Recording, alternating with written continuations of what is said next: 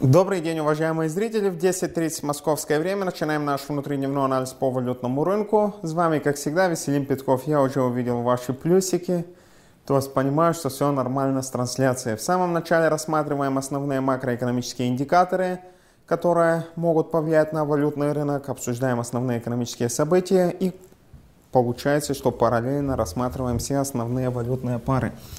Для этого Открываем наш экономический календарь и давайте вспомним, какие индикаторы должны были бы опубликоваться после последнего аналитического обзора.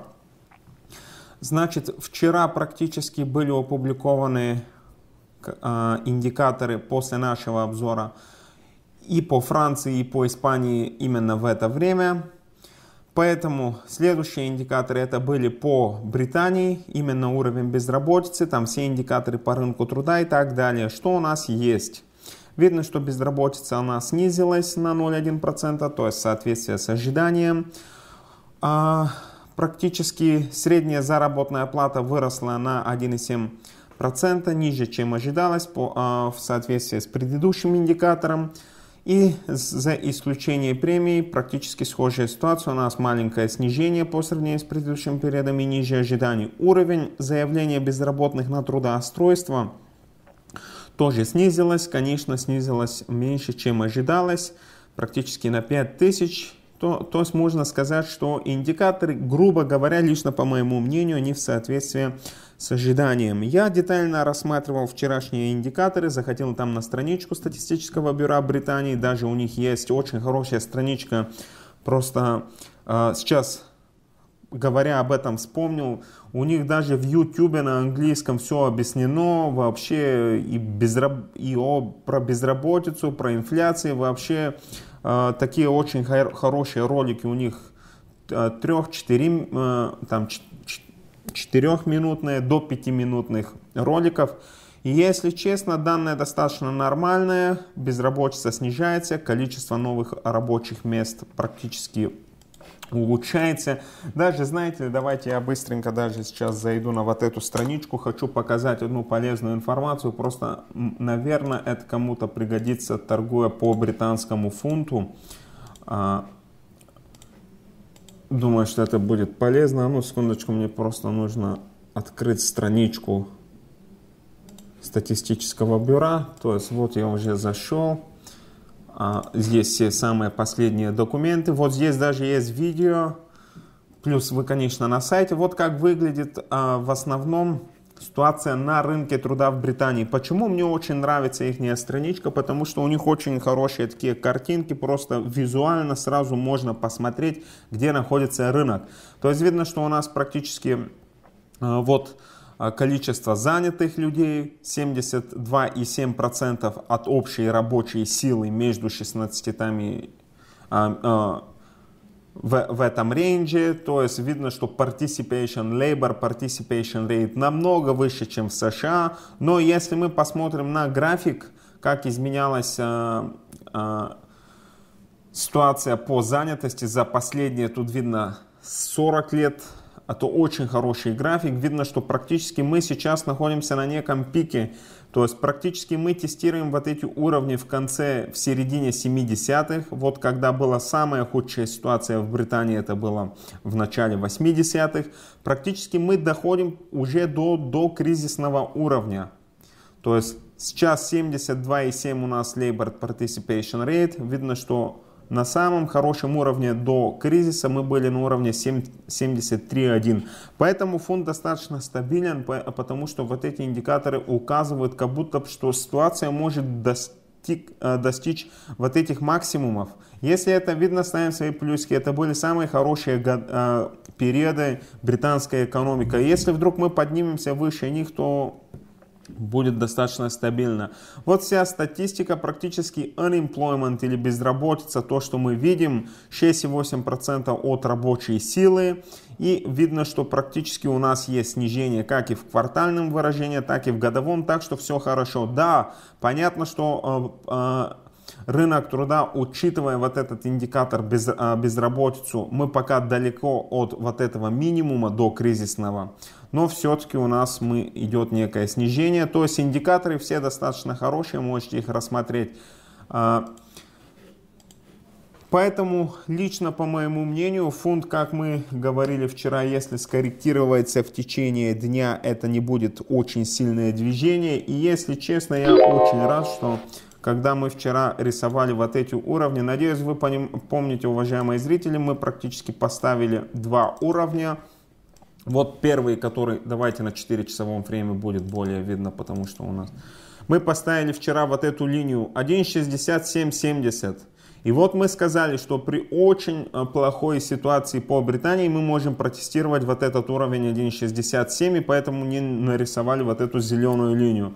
Я очень рад, что наша линия очень хорошо сработала, и оказывается, что мы практически сейчас на этом уровне. Если это видно, ставим свои плюсики. То есть мы когда рисовали вот этот прогноз, это было вчера во время нашего обзора, это было вот здесь, и практически при таком развитии ситуации мы практически сейчас находимся на этом уровне 1.67. Грубо говоря, я всегда ставлю вот эти уровни, там плюс-минус 5, 6, 10 пипсов.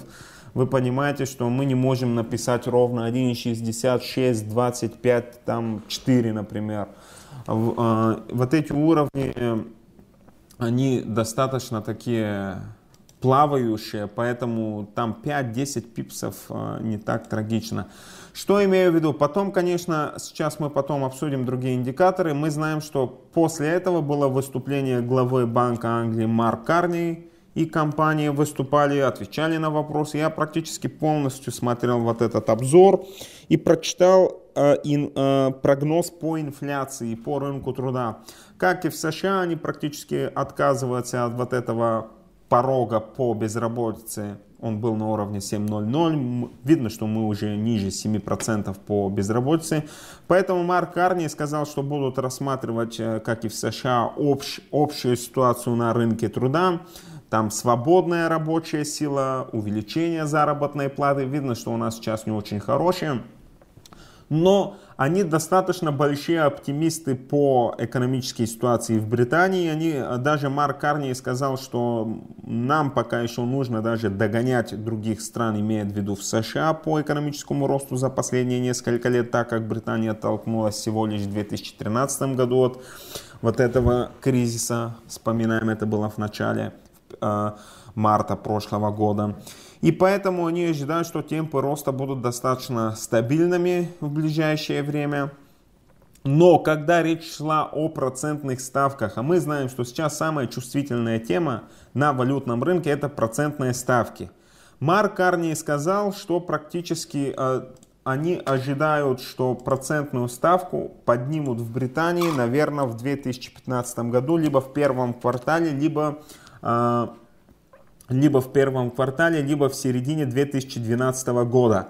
И поэтому как будто он, еще раз хочу сказать, подчеркнул, что они не будут торопиться с быстрым повышением процентной ставки и сказали, что это будет поэтапно, медленными темпами, то есть когда они начнут повышать процентную ставку, это будет достаточно медленный э, а, проводиться. Давайте я даже зайду, открою вот этот инфляционный репорт или по инфляции. Так, хоть знаете, что лучше просто открыть вот эти таблички. Я хочу табличку показать, это ожидание а, по процентной ставке, это очень важное. Так, где у нас chart and tables?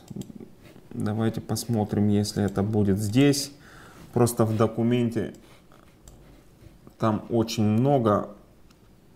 Нет, видимо, это не здесь. Output Cost and Prices. Так, давайте тогда в этом репорте быстренько найду, где вот эти ожидания по процентной ставке. Потому что это очень важно для британского фунта по отношению к доллару. Так, чтобы мы сделали для себя некий более надежный вывод, некая более такая четкая статья. Вот это общий документ.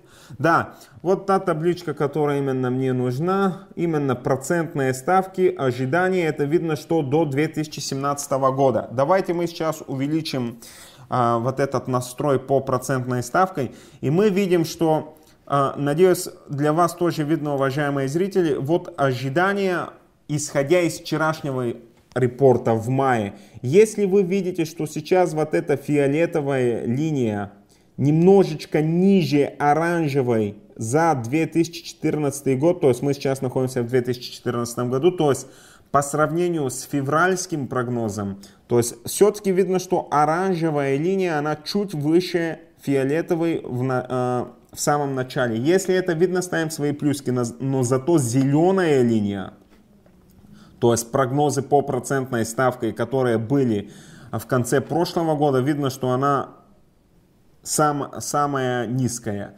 Что это значит? Что в, в очень краткосрочной перспективе как будто сейчас поменялся настрой инвесторов по британской экономике, и они думают, что не так быстро они вначале поднимут ставку.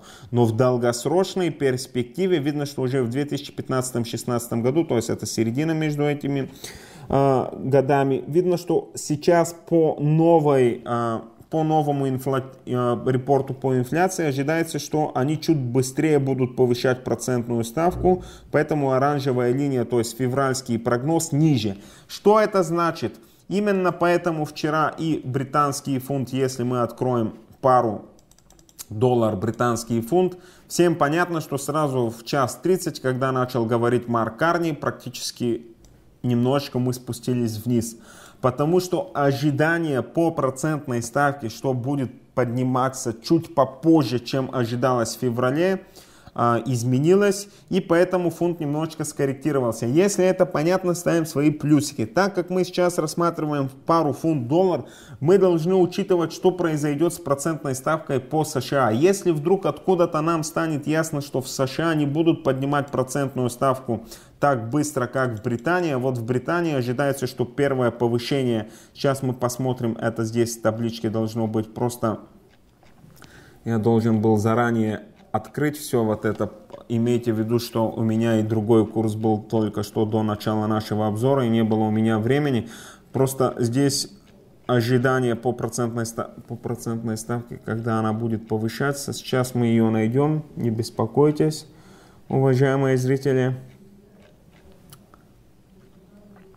Так, вот у нас, например, ВВП как будет расти. Где у нас процентные ставки? Имейте в виду, что ожидается, что на 25 баз э, практически первое повышение будет уже в 2015 году в Британии. Так, мы практически весь документ рассмотрели, я не могу найти вот эту табличку. Так, где это важное? А, это, наверное, здесь будет.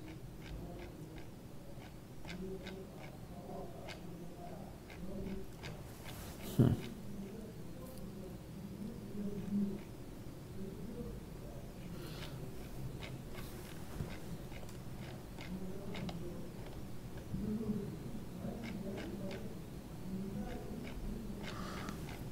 Так, к сожалению, я не могу найти вот эту табличку с процентным с процентной ставкой, когда ожидается, что в Британию поднимут процентную ставку. По ключевому слову Остапенко Владимир не получится, потому что я, если напишу interest rate, тут э, практически на каждой страничке будет. Э, просто и поэтому я отказался именно так искать процентную ставку. Просто я просто не удивлюсь, если это будет самая последняя табличка, как всегда, по закону Мерфи. Нет, вообще здесь... То есть это вообще... Я просто вчера ее рассматривал. Ладно, давайте еще последний тест попробуем. Если это не получится, то тогда просто я расскажу, что было. А, так. Давайте посмотрим, если это здесь. Инфляция безработица. А, вот, хорошо, ладно, давайте вот здесь мы посмотрим. Мы ожидаем, что процентная ставка в Британии, банк рейт, будет на уровне 0,8 во втором квартале 2015 года. А, на уровне 1,6 во втором квартале 2016 и на уровне 2,4 во втором квартале 2017 года. Программа количественного смещения, то есть когда Центробанк будет уменьшать э, свой э, баланс. То есть мы знаем, что они уже не запускают э, програ- новую программу по количественному смещению, они отказались уже давным-давно, но видно, что они будут уменьшать свой баланс в 2016 году. Если это видно, ставим свои плюсики. Но все-таки среднеизвешенный курс по стерлингу, по фунту ожидается, что практически будет на тем же самом уровне и в 2015 году, и в 2016 немножечко снизится, и в 2017 еще немножечко снизится. То есть, если мы рассматриваем даже пару фунт-доллар, сейчас мы должны следить за э, настроением инвесторам по процентной ставке в США. Если вдруг окажется, что в США не будут торопиться повышать процентную ставку, и как они говорят, что это, скорее всего, будет во второй половине 2015 года, если вдруг очень скоро Дженнет Илон или экономическая ситуация будет указывать на то, что в США попозже поднимут процентную ставку, а не как в Британии в середине 2015 года, то тогда это будет давление для американского доллара. Если мы, например, э, пара, например, э, в более тяжелой перспективе скорректируется сейчас вниз на 2, 3, 4 фигуры, вдруг при такой ситуации пара снова возобновит свое восходящее движение. Соответственно, наоборот, если по процентной ставке ситуация настрой в Британии ухудшится, улучшится, в США, то тогда мы спустимся вниз. Если это понятно, ставим свои плюсики. То есть моя цель какова, чтобы вы по паре фунт-доллар а, понимали, что здесь никакой э, речь ни о каком развороте не может идти пока. Потому что я последнее время, последние 2-3 дня тут э, начал слышать... Э, многие инвесторы, трейдеры и так далее начали говорить, что здесь произошел разворот по паре фунт-доллар. Не ошибайтесь, я не думаю, что пора делать Нельзя делать таких выводов, что начался некий разворот, потому что разворот это значит уже четкое ясное движение вниз. Это не значит некие мелкие такие проседания или некие такие мелкие быстрые коррекции, потом будут всякие развороты снова вверх. Если кто-то думает, что здесь происходит э, глобальный разворот и откроет какую-то длинную большую позицию и ожидает, что пара спустится на 5-10 фигур и будет спокойно идти, я пока для себя не рассматриваю такой сценарий мы практически на более мелком фрейме идем сейчас, а, пара достаточно а, нервозно себя ведет, то есть волатильность увеличивается, потому что инвесторам непонятно сейчас, кто первый повысит ставку Британии или США, поэтому имейте в виду, вечером выступает, то есть рано утром у нас получается Дженнет Хиллан, все больше и больше выступлений ведущих лиц, как и в Британии Марк Карни, так и в США Дженнет Илон, а, будут указывать на дальнейший путь по процентными ставками, поэтому пары будут, будут очень, а, будет очень волатильная, и волатильность, как мы ожидаем, будет расширяться. Так, идем дальше по нашему календарю. Вчера тоже были опубликованы индикаторы по Швейцарии, у нас ниже ожиданий. Конечно, швейцарский франк мы знаем, что пока еще не реагирует так сильно на свои данные, нежели на такие незначимые, как Институт ЗЭВ для Швейцарии. Промышленное производство у нас идет снижение по этим индикаторам в Европе. Конечно, евро не просело, потому что сегодня есть очень много других важных индикаторов. Инвесторы, понятно, что не будут обращать сейчас внимание на вот эти вторичные индикаторы. То есть сегодня намного важнее индикаторы по э, Европе. Вчера были опубликованы индикаторы по инфляции в США. Все очень хорошие. Это производственная инфляция. Поэтому будет очень важно, какая инфляция будет сегодня. Рост по инфляции сегодня хорошо для доллара, снижение плохо. Вчера выступал э, представитель глава Центробанка Германии Вайдман. Мы вчера об этом выступлении говорили. Вот а Вайдман сказал, что господин Вайдман сказал, что они могут поддержать ЭЦБ при изменении по денежной и кредитной политике в будущем, то есть во время следующего заседания э, а, а, Банк Германии вполне комфортно себя почувствует поддержать некое смягчение у Европейского центрального банка.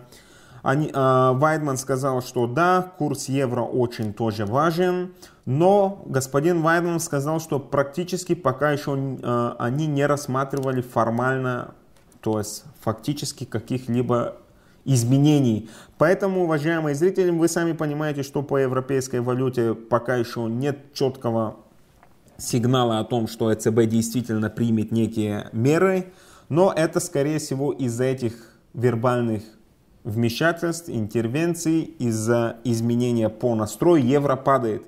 Если это понятно, ставим свои плюсики. То есть было важно, что и немецкий банк подтвердил вот эти слова господина Драги. Мы всегда знали, что немецкий банк всегда ограничивал в известной степени вот это смягчение у ЭЦБ. Вот впервые они подчеркнули, что они тоже поддержат ЭЦБ. Поэтому видно, что для евро уже ситуация немножечко иная, вряд ли евро может сильно вырасти. Это может произойти, как мы вчера говорили, если по США выйдет действительно печальная статистика и печальная информация. В основном евро будет оставаться под давлением, даже если в США статистика не выходит очень хорошая, в Европе хорошая, все равно евро будет оставаться под давлением э, в, этот, э, в мае. Утром были опубликованы индикаторы по Японии, все хорошие, ВВП растет, годовые данные замечательные, дефлятор уже не отрицателен, а нейтральный. И тогда видно, что потихонечку пара доллар японская иена на 15-минутном времени, если мы откроем, вот рано утром сегодня при публикации хорошей статистики сразу практически где у нас получается, ага, это вот здесь получается, да, давайте немножко увеличим график потихонечку пара начала спускаться, то есть иена растет. Но, зная, что будет выступать господин Курода именно говорить по денежной и кредитной политике, инвесторы отказались и решили подождать до выступления. Выступал господин Курода. То есть почему у нас в календаре, а здесь 8.25 по московскому времени, у нас нет времени сегодня обсудить детально а, заявление господина Курода. Я его читал, рассматривал. Но что мы как минимум сделаем, давайте я хочу одну полезную табличку там показать. Пока я открываю табличку, хочу сказать, что господин Курода сказал, что неважно, что будет происходить э, в Японии, мы должны добраться до целевого уровня по инфляции. И господин Курода сказал, что и в будущем, если нужно, можно э, изменить свою денежную кредитную политику с целью поддержки ключевого уровня по инфляции. Что это для нас значит? Вот мы на страничке уже японского банка понимаем, что в последнее время э, банк Японии или э, там глава Центробанка начали как-то э, прятаться и уже не говорить о смягчении. Если вы это помните, ставим свои плюсики, когда они уже говорили, что да, мы закончим вот эту программу, и потом уже не было ясно, чем они будут заниматься, и даже были такие сигналы, как будто они ничем не будут уже заниматься, то есть не будут запускать новую программу по количественному смягчению. И тогда для иены это было хорошо. Но вот понятно, когда господин Курода сегодня утром впервые за последние 2-3 недели сказал, что мы в дальнейшем собираемся поддерживать э, наш целевой уровень по инфляции. Давайте я найду вот эти слова. Вот здесь написано, мы в дальнейшем в любое время, если нужно, поддержим ключевой уровень по инфляции. И банк, Центробанк Японии готов сделать модификации без каких-либо колебаний, чтобы поддержать наш ключ, нашу цель. То есть впервые за последние 2-3 недели видим такую уверенность у Банка Японии. И поэтому, э, учитывая, что раньше последние 2-3 недели, месяц или два банк молчал, даже были такие как будто сигналы, что вдруг они даже не будут придерживаться после окончания текущего раунда к более мягкой программ, а, к смягченной политике. Сейчас все развернулось и видно, что а, господин Харукико Корода спровоцировал вот этот рост и сразу при открытии торгов в Европе, когда открываются в, а, в континентальной Европе валютные рынки, пара пошла вверх. То есть видно, что практически сильного снижения по паре доллар-иена тоже нельзя ожидать, потому что периодически будут вдруг будут э, выходить представители и нам такие заявления будут предоставлять. Здесь есть она очень полезная информация. Вот, например, как сказывается на экономику увеличение налогов в Японии в 2014 году. И вот как раньше сказывался эта ситуация в 97 году, когда они повысили налог, видно, что практически потом все разгрузилось и, конечно, не было такого сильного влияния. Если сейчас мы пойдем по этому сценарию, это будет хорошо для японской, э, для японской экономики. А здесь есть одна очень хорошая табличка – а почему я ее показываю? Поэтому я зашел на страничку. Вот как, вот каковы были ожидания по инфляции в Японии раньше, то есть это предыдущие прогнозы. И вот новые прогнозы действительные за 2014 год. Видите что синяя линия сейчас это инфляция намного ниже, чем она была раньше. Это настрой инвесторов, market participation. Что это значит? что раньше они были сильными оптимистами по японской экономике, что инфляция намного раньше, уже в 2014 году доберется до целевого уровня, и как будто в 2015 инфляция даже дойдет до 2,5. А сейчас практически реальность не такова. Поэтому иногда, когда Центробанк Японии говорит, мы действительно доберемся до целевого уровня, а, а, и когда инвесторы разочаровываются и видят, что это только одни слова, это плохо для японской иены, потому что это может спровоцировать некую новую программу по количественному смещению. То есть слова имеют одно значение, вот действительность может все развернуть. Если это понятно, ставим свои плюсики. То есть видно, что тогда практически Центробанк не смог так быстро добраться до своей, до своей цели, поэтому Периодически сейчас, когда Центробанк а, будет озвучивать, что мы доберемся до ключевого уровня, при плохой статистике нельзя им так сильно верить, и поэтому настрой инвесторов все-таки будет при, такой, э, при плохой статистике э, будет против японской иены. Думаю, что это очень э, важно и, э, знать и понимать. Идем дальше. Коротко, что будет происходить сегодня начинается вся самая главная статистика по э, Европе. ВВП, видим, что везде практически выходят нормальные ВВП. В Германии вышли достаточно э, хорошие индикаторы. Очень скоро начинается публикация по инфляции по ВВП в, э, в Европе. То есть практически через 2 часа или в час по московскому времени. Вряд ли инфляция сильно здесь э, изменится, потому что это финальное значение практически. То есть это не первая оценка. Я не думаю, что значения по инфляции могут сильно повлиять на евро. Да, если будет какое-то сильное, некое сильное расхождение в пользу, э, чтобы инфляция выросла, то тогда в этом случае сегодня по паре евро-доллар вдруг пара может немножечко развернуться и чтобы произошел некий откат вверх, то есть движение вверх. Но все равно это движение не может быть очень сильным, по моему мнению. Скорее всего, ВВП может сильно повлиять на евро, и как мы знаем, хороший ВВП может оказать поддержку. Я не говорю рост, а подчеркиваю поддержку, потому что евро под давлением. Но если индикаторы будут плохими, э, будут плохими, то евро продолжает спускаться вниз. И если честно, по моему мнению, вероятность снижения, э, снижения европейской валюты сегодня намного или в краткосрочной перспективе намного больше, чем к повышению. Сегодня самое главное э, для валютного рынка это индикатор по инфляции в США, который публикуется сегодня в 16.30. Плюс первичные, вторичные заявки на пособие по безработице, промышленное производство. Все вот эти индикаторы, они в добавление повлияют на валютный рынок. 16.30 очень важный индикатор по инфляции. Если в США инфляция вырастет выше ожиданий и доберется до целевого уровня, впервые, то это будет очень мощный сигнал для американского доллара и очень скоро он может начать расти к многим валютам. Если это понятно, ставим свои плюсики. Не забываем, что вечером по московскому времени это а, завтра утром выступает Дженнет Йеллен. Она будет говорить по денежной и кредитной политике. Так что имейте в виду, валютный рынок завтра сильно отреагирует и то сегодня вечер именно вот это выступление, если она даст некую конкретику по рынку труда, по процентным ставкам, это может сильно повлиять на, на американский доллар в краткосрочной перспективе как и позитивно, подчеркиваю, так и негативно.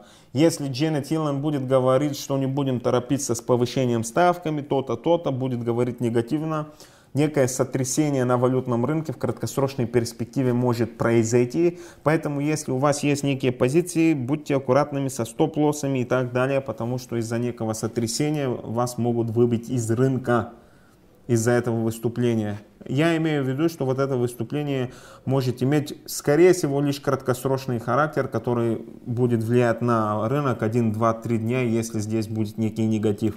На первом месте это инфляция. Вижу, что других вопросов нет. Быстренько показываю 2-3 новости из вчерашних. Вот можете прочитать, что заявил вчера Марк Карни. По Британии очень интересные такие заявления. 12.25. Мы практически не изменили прогноз по экономическому росту и по инфляции. То есть в этом инфляционном отчете ничего нового не было, кроме по ожиданиям по процентной ставке. И вот, как мы говорили и увидели на графиках, э, что первое повышение будет либо в конце первого квартала, либо в начале второго квартала 2015 года. Если настрой в США от, будет откладываться о повышении, то есть не в середине 2015, а в конце 2015 или в начале 2016, если вдруг сегодня Дженнет Илон так скажет или в ближайшее время, то вполне возможно, что по паре фунт-доллар снова произойдет некое движение вверх. Мы не говорим, что это произойдет сегодня, мы говорим, что в будущем при таком развитии ситуации мы можем ожидать вот такие резкие скачки с целью, чтобы мы э, э, не ожидали, что сейчас происходит некий разворот, и чтобы вдруг фунт начал падать, и мы начали идти вниз, вряд ли. Пока нет таких сигналов. Следующая новость, которую хочу показать, это последняя новость, это из сегодняшних новостей. Так, следующая новость, которую хочу показать. А, а, то, что а, господин Харухика Корода сказал, я показал в документе. Самое главное, 0017. Доллар США будет испит, исп, извиняюсь, испытывать давление на фоне падения доходности облигаций США. Что мы видим, уважаемые зрители? Мы посмотрели, что после вторника, когда была опубликована плохая статистика по розничным продажам мы увидели, что десятилетние ставки резко снова упали. Вот что у нас есть, вот на месячном время. Вижу, что вы видите, что да, в начале недели у нас был хороший такой рост, 2,66. И потом, хоп, у нас стало снижение. Почему? Потому что вышли плохие розничные продажи и ставки начали падать. Соответственно, это давит на американский доллар. И если мы посмотрим по всем другим валютам, золото резко прыгнуло вверх. Хоть вот эти прыжки, они очень мелкие. Канадский доллар начал расти, австралийский доллар начал расти, даже иена. Соответственно, оказывается, что весь валютный рынок э, растет по отношению к доллару на этой неделе из-за падения доходности по десятилетним облигациям. Только евро дешевеет, но это немножечко иная ситуация. Это из-за выступления, соответственно, и швейцарские франки, из-за выступления на прошлой неделе Мария Драги. Поэтому, уважаемые зрители, сейчас следите за настроем инвестором, соответственно, следим за ставками по процентным, по а, десятилетним облигациям. Вот сейчас идет маленький рост сегодня утром. Если выйдет хорошая инфляция, посмотрите, как отреагирует процентные ставки, если они пойдут вверх, то это значит, что в краткосрочной перспективе это хорошо для американского доллара. Соответственно, если ставки пойдут вниз в краткосрочной перспективе, то сегодня, то доллар, как ни странно, может остаться под давлением к остальным валютам. Думаю, что это понятно. Если это понятно, ставим свои плюсики. То есть я слежу за вот этими процентными ставками, если честно, уже ежеминутно потому что сейчас рынок очень чувствителен, и вот именно эти ставки отображают настрой инвесторов. Вот как мы говорили еще в начале месяца, когда безработица вышла не очень хорошей в США, хоть числа показались хорошими, то, что мы обсуждали, некие пары сначала э, ошиблись валютные пары, но золото и процентные ставки сразу отреагировали. Тогда было сразу падение по процентной ставке, вот здесь второго Сразу было падение по процентной ставке и сразу золото пошло вверх от 1281 на 20 долларов приблизительно. То есть вот эти два инструмента никак не ошибились. То есть глобальные инвесторы никак не ошибились. У меня других новостей нет. Открываем быстренько а, Савукинос Альгимантас. Да, вы можете послушать вот эти лекции, они ежедневно записываются, надеюсь, на, нашем, на нашей страничке в YouTube. Как ее найти, покажу в конце нашего обзора. Давайте быстренько обсудим пары. Евро-доллар. У нас никаких изменений нет по видению. Прорыв вот этого уровня, он сейчас является мощным сопротивлением для дальнейшего роста. То есть даже если выйдет печальная информация сегодня по США, вряд ли мы можем сильно подняться выше этого уровня. Я лично ожидаю, что мы будем спускаться с наибольшей долей вероятностью к уровню 1.3660 сегодня. И при хорошей статистике по США по инфляции и при не очень хорошем ВВП сегодня по Европе мы можем пробыть, сделать прорыв вот этого уровня и чтобы мы пошли вниз. Но, соответственно, будьте внимательны, имейте, уважаемые зрители, что если в США выйдет плохая инфляция сегодня, скорее всего мы будем сохраняться между вот этими двумя уровнями, которые, э, которые у нас есть на графике. 1.37 там 45 и 1.36 60. То есть скорее всего волатильность просто расширится в этом диапазоне. Если это понятно по этой паре, ставим свои плюсики. В целом у нас как будто идет уже некое такое снижение по этой паре. Хотя, как мы знаем, если снижение будет происходить, оно достаточно слабое слабое. Если мы посмотрим на график, чтобы мы смогли сориентироваться, давайте я включу линейный график. Вот у нас, например, первая вершина, вторая вершина. Вот между двумя вершинами впадина находится на этом уровне 1.37. Если сейчас действительно произойдет прорыв вот этой впадин, э, впадины между э, вот этими вершинами, между головами, это двойная голова, если вдруг кто-то так а, хочет обозначить вот эту фигуру, то это тогда будет значить, что действительно нисходящий тренд будет продолжаться, и тогда мы идем вниз и протестируем даже очень скоро вот этот уровень 1.3560. Если это понятно, ставим свои плюски. То есть сегодня, если произойдет прорыв вот этой впадины, то тогда мы спускаемся вниз. Этот прорыв может произойти только при хорошей статистике по инфляции сегодня в США и при плохой по Европе. Хоть если даже инфляция в Европе немножечко вырастет, я не ожидаю, что пара пойдет вверх. Уже евро остается под давлением. По фунту мы обсудили, что здесь очень аккуратно. Я ничего плохого не вижу в статистике по фунта. Скорее всего, на фоне ожиданий, кто первый поднимет ставку США или Британии, волатильность будет расширяться. Лично, по моему мнению, здесь торговать не стоит. Лучше подождать некую впадину. И если вдруг в это время, когда сформируется некая впадина, в Британию усилится настрой по повышению процентной ставки, а в США не будет так, то можно купить вот эту пару э, для спекулятивной сделки, но об этом мы будем чуть попозже говорить, когда появится возможность. Австралийский доллар, что у нас есть? Видно, что пока австралиец не может подняться выше вот этой вершины, где находится наш стоп-лосс, и мы, как говорили, первая волна, вторая, третья, четвертая, пятая, вот восходящий тренд был до этой волны, э, до вот этой вершины. Вот мы сейчас знаем, что идет уже разворот, если сработает вот этот волновой анализ Эллиота, первая волна, вторая, и скоро будет третья. Это сработает только если в США выходит хорошая статистика.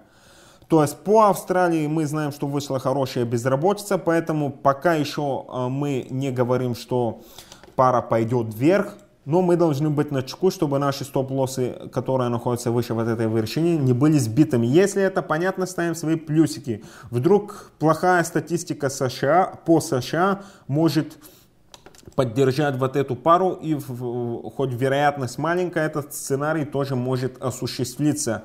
Мы видим, что давление по процентной ставке в США давит на американский доллар, а если честно, процентные ставки в Австралии все-таки еще привлекают очень много зарубежных капиталов, И э, если посмотрите на приток капитала в Австралию, он достаточно положителен, и поэтому австралийский доллар достаточно стабилен сейчас. Если в США процентная ставка по десятилетним облигациям не начнет расти, то тогда э, доллар австралийский, австралийский доллар будет иметь некую поддержку. По японской иене просто волатильность расширится в этом боковике. Канадский доллар, видим, что то же самая схема. Мы просто видим, что американский доллар сейчас не так стабилен по отношению к другим валютам, кроме э, к европейской валюте. Тоже здесь волатильность может расшириться, тоже может произойти некий ложный прорыв, как раньше этого уровня. Так что будьте внимательны, если вы сохраняете вашу длинную позицию стоп-лоссами. Здесь нужна хорошая статистика по США, чтобы процентные ставки по десятилетним облигациям начали расти, чтобы пара пошла вверх. И в ближайшее время это, лично по моему мнению, должно произойти. Швейцарский франк мы смотрим вверх. У нас знаем, что озвучены вот эти уровни, чтобы более спокойно мы уже утверждали, что идет восходящий тренд, нам нужен прорыв вот этого уровня. И тогда мы, если произойдет уже рано или поздно вот этот прорыв, будем рассматривать вот эти три цели. И, конечно, долгосрочная цель у нас 0.98, то есть мы поднимемся до верхней части боковика.